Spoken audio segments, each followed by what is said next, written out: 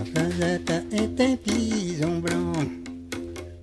Il est. Il pas la main sur son il papa, il est pas la main sur son petit Les enfants, il va respecter son maman, il va respecter son papa, il va respecter son petit ça. Les enfants, il est pas la sur son maman,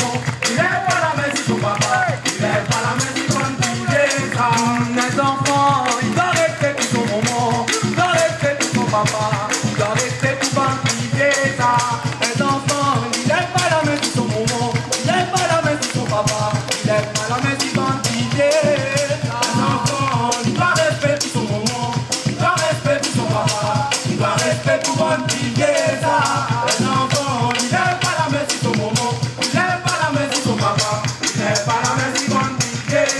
Domar momo pardon, ça fait la manque à l'irrespect. Domar papa pardon, ça fait la manque à l'irrespect.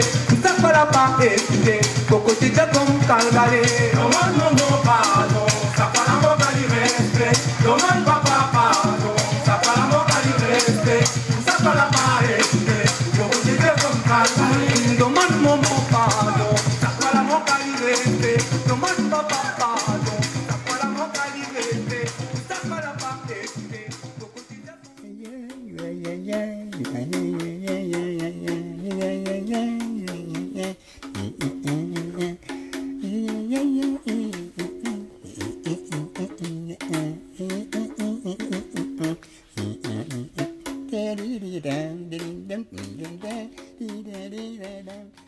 dun dun dun dun dun dun dun dun